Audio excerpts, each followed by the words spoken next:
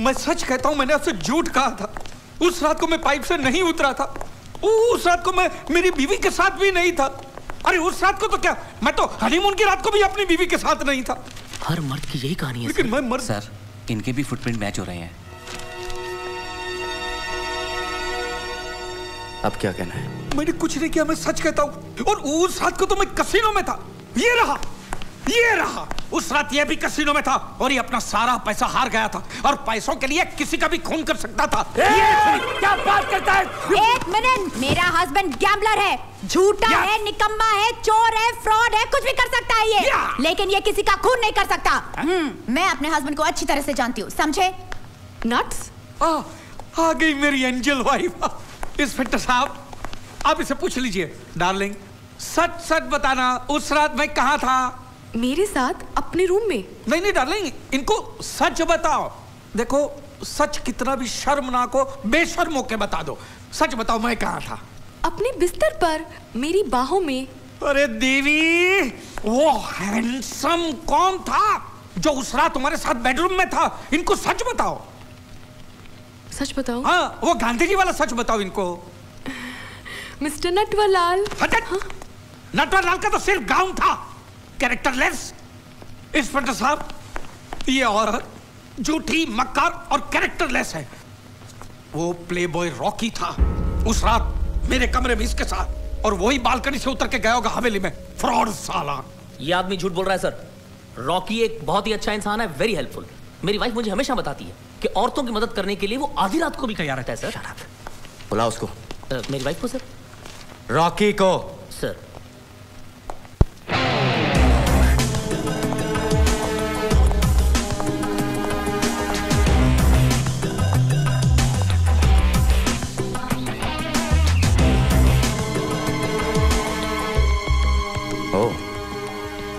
तुम हो playboy Rocky yes nine eight two zero four two zero four two zero four two zero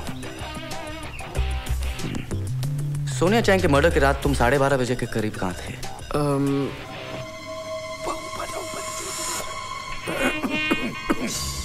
अब उस रात मैं एक सेक्सी सुंदर लड़की के साथ लॉन्ग ड्राइव पर गया था। अरे तू भूल जा जो मैंने कहा था। तू इनको बता दे कि तू उस रात मेरी बीवी के साथ बेडरूम में था बता दे इनको। कैसी बात कर रहे हैं आप? सॉरी मैं आपकी बीवी को बदनाम नहीं कर सकता। अरे मेरी बीवी की चिंता तू क्यों कर रहा है यार? बता दे मुझे मुझे ये बदनामी चाहिए। मुझे कलंकी नहीं चाहिए। कर बदनाम करना यार। सॉरी मैंने आपको जबान दी है। I can't do that I am a man of principles अरे प्रिंसिपल तोड़ दे बोल हो मेरी हड्डियाँ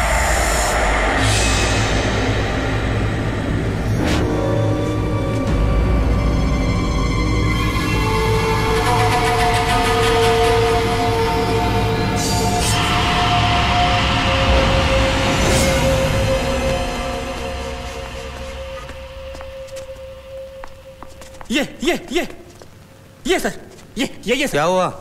ये ये सर। सोनिया मैडम का खूनी यही है उस रात बंगले के अंदर। मैंने यही दो पैर यही दो पैर और यही दो आँखें देखी थी सर। बोल तू ये। ये जो कह रहा है वो सच है? हाँ बोल।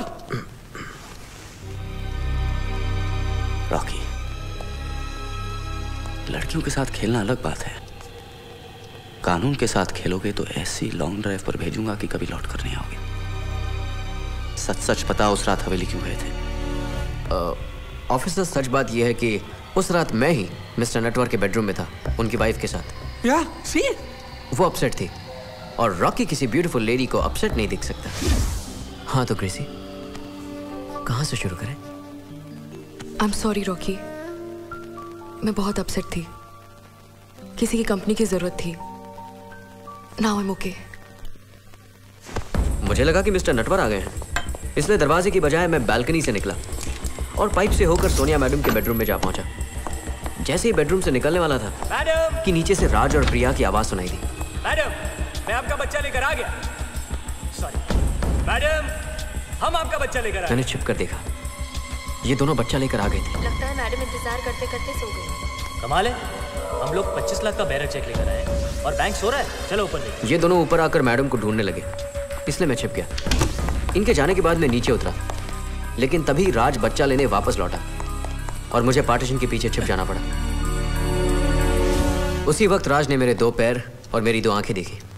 दैट्स इट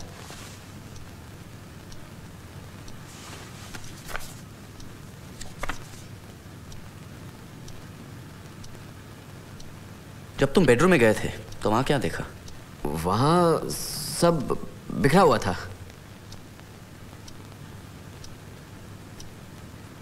तुम्हारी भी कहानी अच्छी है। कमाल की बात है सर। मर्डर एक हुआ लेकिन कहानी सबकी अलग अलग है। हम्म।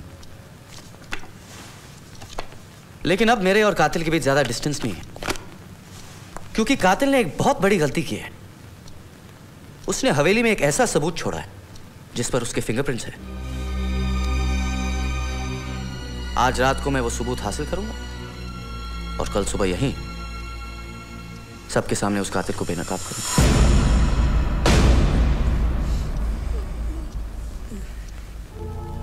अब आप सब जा सकते हैं। थैंक यू सर एक मिनट। यहाँ से। चाइना टाउन छोड़कर नहीं। हर एग्जिट पर पुलिस का पहरा है। रिलैक्स यार। आज चाइना टाउन की सिल्वर जुबली का सेलिब्रेशन है। वहाँ जाइए नाचिए गाइए एंजॉय कीजिए। टेंशन लेने की ज़रूरत सिर्फ़ कातिल को है। सिर्फ़ कातिल को। बाकी सब नाचेंगे गाएँगे।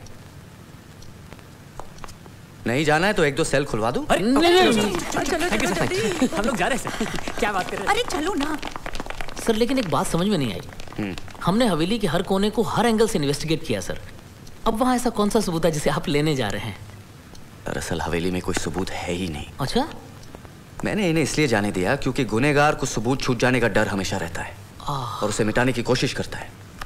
इनमें से जो भी कातिल होगा वो आज रात को सबूत को मिटाने के लिए कोई ना कोई कदम ज़रूर उठाएगा। और वही कदम उसे एक्सपोज करेगा। रेलवे स्टेशन कनेक्ट करके दो। Sir you are genius sir sorry sir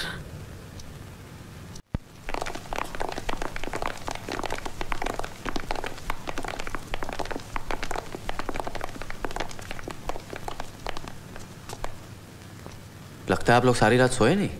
कैसे सोएँगे सर? जरा नींद लगती है तो सपने में फांसी का फंदा नज़र आने लगता है साहब। साहब ये फांसी का सिस्टम है भी। मेरी भी यही प्रॉब्लम है। जब तक केस सॉल्व नहीं हो जाता नींद नहीं आती। वैसे खूनी को पकड़ना ज़्यादा मुश्किल नहीं था। अगर आप सब सच बोलते तो मगर किसी ने सच नहीं कहा। क्योंकि सभी के दिल में चोर था। खून शनिवार की रात साढ़े ग्यारह और डेढ़ के बीच हुआ। और यहाँ खड़े सभी लोग इस खून से कहीं ना कहीं कनेक्टेड हैं। इसका मतलब खून आप में से किसी एक ने किया है। और खून करके लाश को बैग में डालकर रास्ते पे छोड़ दिया। और वो बैग में गैमलर बाबा का प्रसाद समझ कर अपने साथ ले गए थे क्योंकि आपको पैसे कमाने की लालच थी। और आपकी बीवी को पैसे कमाने का डर। जी हाँ उस रात मैं पचास लाख रुपए जीती थी। लेकिन मेरे पति ये पैसे भी जुए में ना हार जाए इसलिए मैंने सारी बातें छुपा के रखी थी। देखा वकील साहब पैसा कैसे कैसे खेल खिलाता है। इन पैसों ने ही सोनिया मैडम की जान ली। मिस्टर नटवर खून की रात साढ़े बारह बजे आप सोनिया मैडम से पच्चीस लाख लेकर आए थे। हाँ लेकिन मैंने वो पैसों के लिए अपना पांचवा होटल भी गिरवी रखा था साहब।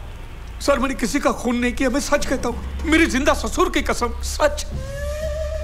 फिर ये बात बताने पुलिस के पास क्यों नहीं आए? क्योंकि जब टीवी पे खबर आई कि सोनिया मैडम का खून हो गया और तिजोरी भी लूट ली गई है तो मुझे लगा कि मैंने जो होटल गिरवी रखे थे उसके कागजात भी चोरी हो गए होंगे तो मैं चुप रहा। चलो यकीन किया। मतलब जब तुम हवेली से निकले तब मैडम ज़िंदा थी। हाँ। और तुम्हारे बाद जो हवेली में पहुँचा उसने खून किया। मिसेस नटवर मर्डर की रात आप भी हवेली गई थी ना जी। आगे की बात आप खुद कहेंगे या मैं कहूँ? उस रात मैं हवेली गई थी। सोनिया मैडम के कसीनो की वजह से मेरे पति अपने पाँचों होटल गिरवी रख चुके थे। मैं बहुत गुस्से में थी। लेकिन जब मैं हवेली गई वहाँ पर कोई नहीं था। मिसेस सोनिया? मैं मैडम से मिलने स्टडी रूम में पहुँची। वहाँ भी कोई नहीं था। मैंने देखा कि सेफ़ टूटी हुई थी। फर्श पर सारा सामान बिखरा हुआ था। उसमें मेरे होटल के मॉर्गेज के पेपर्स भी थे। मैंने सोचा, यही मौका है, अपने होटल्स को बचाने का। मैं वो पेपर्स लेकर वहाँ से फ़ौरन निकल गई। और कल जब मैंने कहा कि कातिल से जुड़ा एक इंपॉर्टेंट सबूत अब भी हवेली में है तो तुम घबरा गई।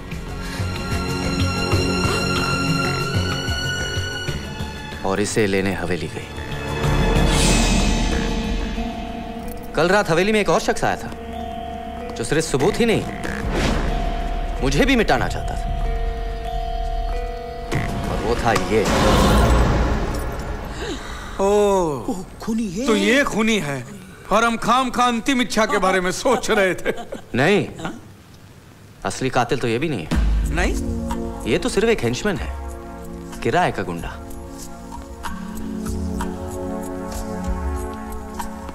वकील साहब जिस दिन मर्डर हुआ था आप भी हवेली गए थे ना? हाँ लेकिन मैं तो सुबह गया था। सोनिया मैडम अपनी वसीयत बदलवाना चाहती थी करेक्ट जहाँ दौलत होती है वहाँ वसीयत होती है। और जहाँ वसीयत होती है वहाँ बनाने वाले की मौत होती है। सोनिया चैंग की बेशुमार दौलत हासिल करने के लिए मुजरिम ने सबसे पहले उनके इकलौते बेटे को इस शराबी के हाथों किडनैप करवा के मुंबई भेज दिया। कई दिनों तक जब रैंसम का फ़ोन नहीं आया तब सबको लगा कि बच्चा किडनैप नहीं हुआ है, खो गया है। टेंशन में आके सोनिया चैंग को नींद की गोलियाँ खाने की आदत थी। कातिल भी यही चाहता था कि एक दिन खबर आए कि बच्चे के गम में बहुत सारी नींद की गोलियाँ खा लेने से सोनिया चैंग की मौत हो गई। मर्डर को नेचुरल डेथ प्रूव करने का प्लान सक्सेसफुल हो। उससे पहले बच्चा इस शराबी के हाथों से निकल गया और इन दोनों को मिल गया। और 25 लाख के नाम के चक्कर में उन्होंने सोनिया मैडम को फ़ोन किया।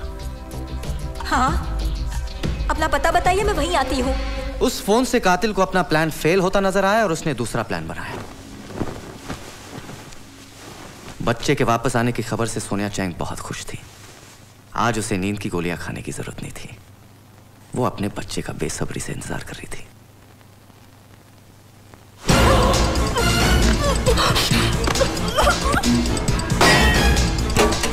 मर्डर के बाद कातिल ने स्टडी रूम में सेफ़ तोड़कर सारे पैसे और ज्वेलरी निकालकर ऐसा माहौल खड़ा किया कि मर्डर का मोटिव रॉबरी लगा और उसी वक्त वहाँ ग्रेसिया। मिसेस सोनिया? ग्रेसी के जाने के बाद कातिल अपने प्लान के मुताबिक सोनिया चैंग की लाश को बेडरूम से घसीटकर स्टडी रूम में ले आए। ताकि जब राज और प्रिया हवेली में आए तो खून का इल्ज़ाम उन पर लग जाए। और ये मास्टर प्लान बनाने वाला वो है।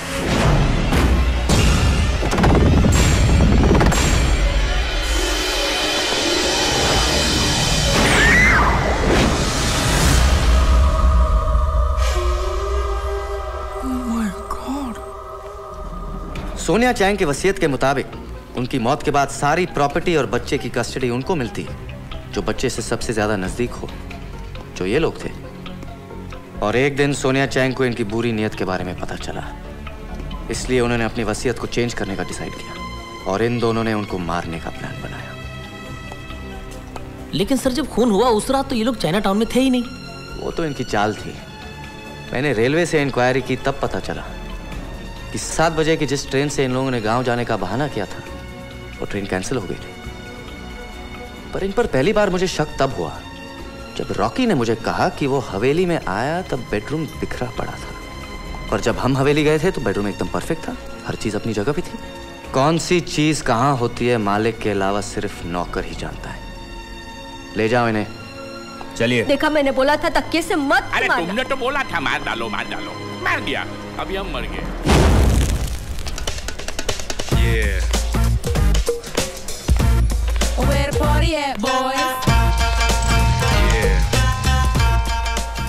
एक्सक्यूज मी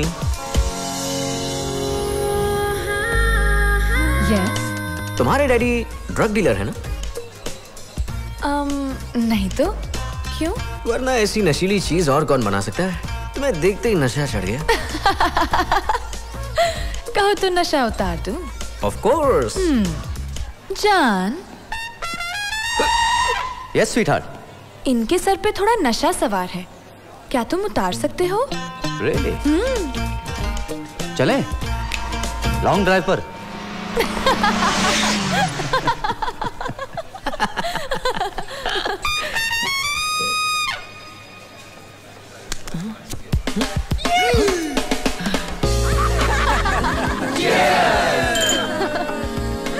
वकील साहब सुनिए देखिए अब तो आपने बच्चे की कस्टडी हमें दे दी है तो हमें हमारा पैसा भी दे दीजिए नहीं तो वो डायरेक्टर मेरे बिना ही फ़िल्म बना देगा। अरे टेंशन मत ले अरे ज्ञानर बाबा के पास फ़िल्म बनाने का भी फार्मूला है। ये क्या हुआ? अरे क्या? कसीनो का दरवाज़ा बंद कराओ। क्यों? नहीं तो मैं युधिष्ठिर बन जाऊँगा। युधिष्ठिर क्यों बाबा? पैसे खत्म हो गए बीवी दाव पे लगानी पड़ेगी। लेटेस्ट अपडेट्स के लिए अल्ट्रा चैनल्स को सब्सक्राइब करें और बेल आइकन को प्रेस करें।